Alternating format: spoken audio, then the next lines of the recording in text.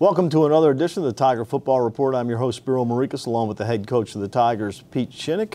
And, coach, the Tigers go down to Norfolk and get the victory over a, a very pesky Spartan team, 28 23. Um, this was a game where you guys looked like you were going to be in control early on, but Norfolk State made some adjustments and they, and they really hung around. Yeah, credit them, and uh, we knew that was the type of game you know that we were going to get from them, uh, and really had opportunities, as you say, to kind of you know take that next step and, and get to that next place. But they kept finding ways, and um, you know, a very very good running team. Anytime you face a running team, I mean, they're they're one play away from busting one, and we saw them do that. You know, for a touchdown that got them back in the game. Um, and then they were playing a new quarterback that we really didn't have a lot of film on to really know what his strengths and weaknesses were. And so they stayed in the pocket a little more with him than they did the other guy. So making a couple of adjustments there. But And they know, tried some trickery too. Yeah, very. I thought they used him really well with that, the reverse pass uh, to throw a nice dig route, you know. Um, and so credit them. I mean, they, they, came up with a lot of different ways to attack us, uh, but really excited that our guys were, you know, we really answered every call. Uh, that they made. And so I think, you know, at halftime had the feeling of, okay, you know, we're in this, but really we could we could take another step. We could do something, um, and then you know we found a way in the end to really uh, get done what we'd hoped to get done. Sean Brown showed flashes of brilliance on Saturday and then uh, some interceptions, which we had not seen. It- He had only thrown one coming into this game. He throws three on Saturday. What happened on those plays? Yeah, I think um, uh, I think the last one was a bad throw um, because we got a guy wide open. Um, I think the one right before half was a poor judgment uh, on his part. Uh, and then the other one, I think, you know, a little combination of a couple things. Um, but you're right. He had been very, very good. Uh, he had been decisive. Uh, and, you know, he's got to play that way. And I think uh, we saw that on a lot of uh, his throws. And that's, you know, uh, you know, every now and then you're going to run into a game like that where there's some in between balls and stuff like that. But uh, I think all of those he'd love to have back.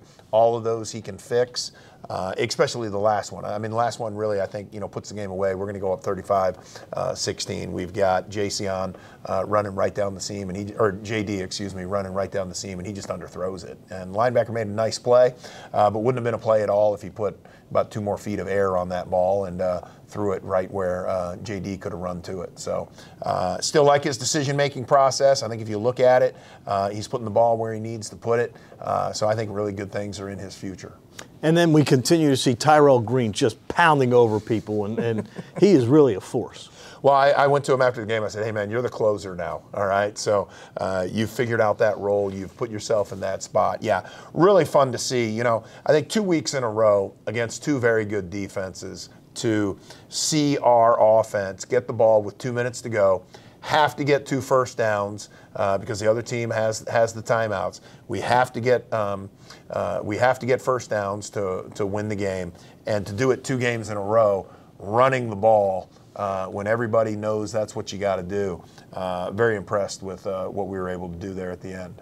All right, well, that concludes your non conference portion of the schedule. So it's all CAA play from here on out.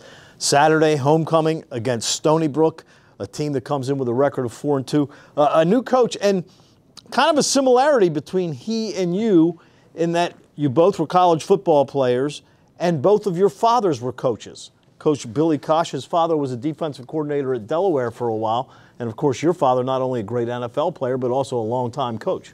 Yeah, and Billy, I mean, another connection with Coach uh, Cosh. Uh, uh, Billy was actually Brian Shepard's uh, wide receiver coach at VMI, and then when Brian left uh, to go to Minnesota, Billy became the offensive coordinator at VMI. So uh, I've really followed his trajectory because Tyson Wachenheim, who's our tight end coach, Scott Wachenheim was the head coach at VMI. So I've known Scott since I was a GA at Arkansas. So small world when it comes to coaching, but followed really Billy's career. I mean, he's done a great job. Um, you Uh, know, they totally turned it around. I yeah, mean, I mean they, they, were, they- at the bottom last yeah, year, and now did four not, and two. Did not win a game to come in and uh, you know win four games uh, already. I think is a great testimony to uh, type of coach he is. I mean, what they're building. You watch their guys; uh, they play with great energy, great excitement. Um, you know, they are they are doing a great job on both sides of the ball. I think they manage the clock very well. I think they're holding the clock, holding the ball longer than anybody else in the conference. They're running the ball well. Uh, defensively, they're flying around and, and make you really earn everything that you get. And you know, they're up on uh, Villanova uh, early in the game. I mean, really up until I think going into the third quarter, halftime, somewhere around there. Uh, so they've proven they can play with people. I think they're you know they're the most improved team in the CAA uh, with how they're doing it, and we're, we're going to have to be uh, on point with what we're doing. Uh, Roland Dempster, their running back, 700 yards already in six games. What is it that he brings to the table? Yeah, he brings uh, a great force when he runs. He runs uh, very low, uses his pads well. Uh, he is a thick body. Um, you're going to need to be very sure in tackling him. You're going to need to, uh, you know, grab, hold on, let some of your friends come uh, and help you get him down. And their O line does a really nice job of just keying their blocks, uh, staying on them long enough to then, you know, arm tackles aren't going to get him down.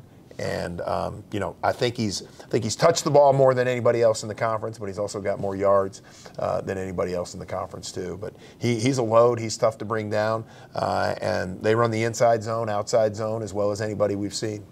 All right, well, the Tigers and the Seawolves will do battle Saturday, 1 o'clock at Johnny Unitas Stadium. It's homecoming. We hope you all will come on out. So, for the head coach of the Tigers, Pete Shinnick, I'm Spiro Morekas. Thanks for tuning in to another edition of the Tiger Football Report.